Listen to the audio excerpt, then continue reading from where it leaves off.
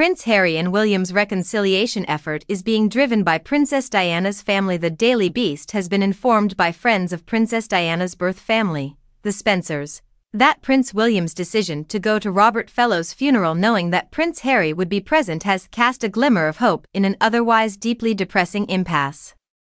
In addition, the clan is trying very hard to get the brothers to reconcile.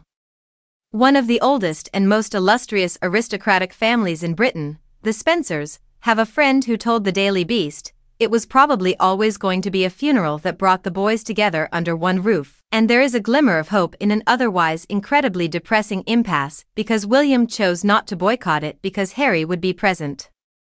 They both adore Jane, Lady Jane Fellowes, Robert's widow and the elder sister of Princess Diana, and it's quite appropriate that they both attended in her honor. The realization that blood is thicker than water is significant. It's irresponsible, encouraging indication that their personal conflicts won't interfere with significant family gatherings.